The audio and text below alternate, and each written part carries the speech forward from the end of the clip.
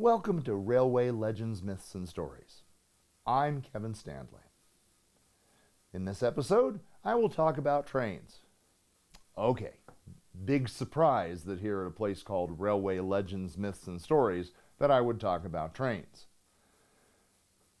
Today, though, I want to go over a bit more as to why there are trains. Do we have trains just because of habit? Is there something better about trains than other means of transport? Here's a quote from a broadcast many years ago by Al Swift, a member of the U.S. House of Representatives from the state of Washington.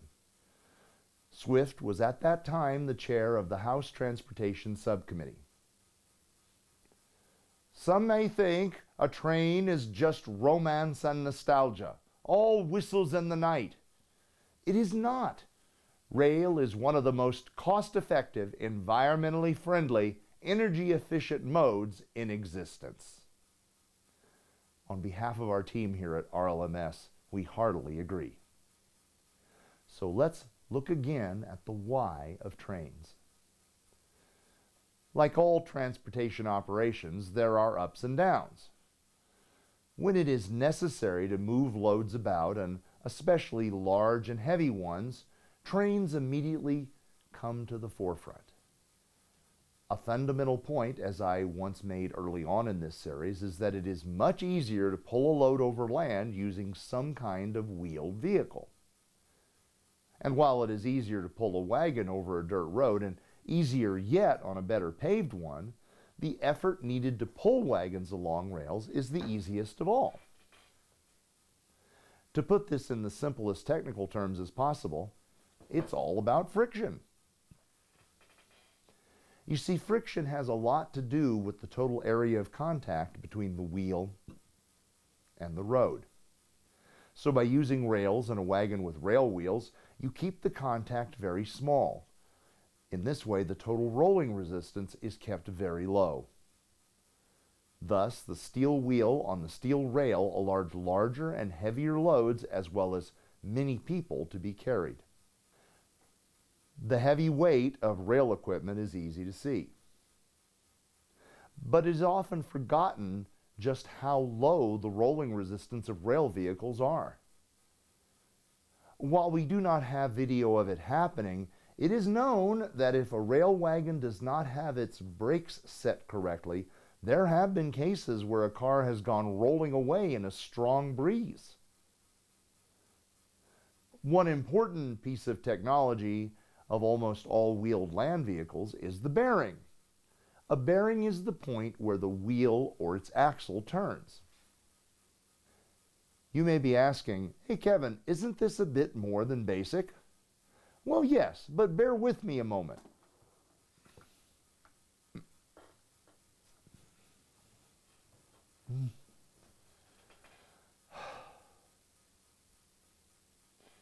Any wheeled cart wagon, or road vehicle has some sort of bearing. How good these bearings are is one of the most fundamental parts of any rail vehicle.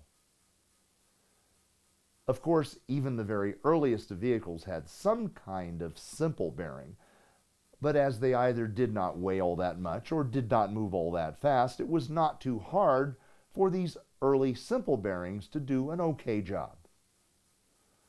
With the advent of, say, steam power, the loads became much greater and the speeds certainly increased a lot. The need for a much improved bearing was not only obvious, but imperative. The wheel bearing and railroading have a lot to do with each other. For a long time, the plain bearing was used. It was not only simple and was relatively inexpensive, but it also worked pretty well. Ah, but there was one grave drawback to the plain bearing. It needed a lot of looking after. This type of bearing needed to be inspected daily, or probably much more often. Even when taken care of, they could and did catch fire. The train would then need to be stopped, and the crew would lose valuable time taking care to repair the overheated bearing. If not attended to quickly, a hot bearing could cause the train to derail. One of the jobs of the crew riding in a railroad caboose was to watch over their train in front of them, looking and often smelling for hot boxes or overheated bearings.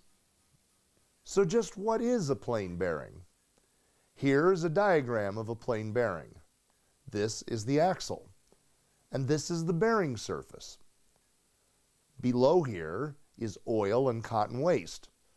The cotton helps to wick the oil up and around the axle. Often, the cotton would get wedged into the axle, and if the journal box was low on oil, the cotton might ignite from the friction.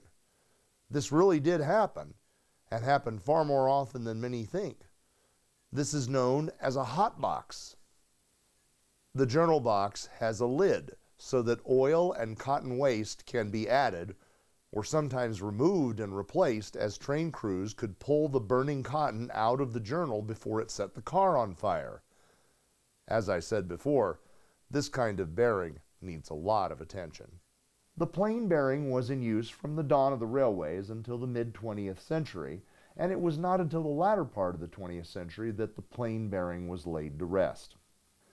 A great deal of the problems of the plain bearing were overcome with the advent of practical roller bearings. The first attempts at a roller bearing were made as early as 1828 by Ross Winans. This device was called the friction wheel bearing. While this device reduced rolling friction by a, to a very small amount, it unfortunately also wore out very fast.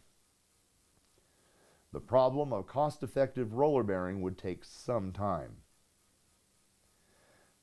By the 1870s, some light streetcars were using roller bearings, but it would not be until the early years of the 20th century that better bearings started to be adopted by the mainline railways.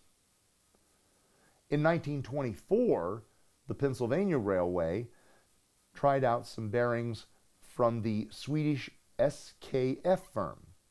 The bearings were fitted to six passenger cars, and these bearings were still in service in 1946 when the cars were retired. Even freight cars started to receive roller bearings in the middle part of the 20th century, as it was found that the new bearings often gave more than 10 years of trouble-free running. So what's the big deal about bearings? Well, first thing is that the better the bearing, the less energy is needed to pull the cars. Improved bearings also allowed much greater weights to be carried.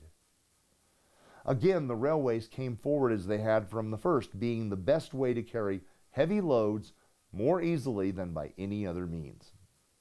While this kind of modern bearing can also fail, this does not happen very often, and mostly this kind of bearing does its job so well that it can go without any kind of servicing for years.